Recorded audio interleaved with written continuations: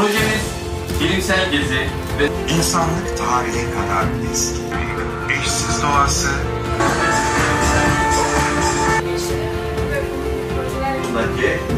bu amaca dört öğretmenimizle beraber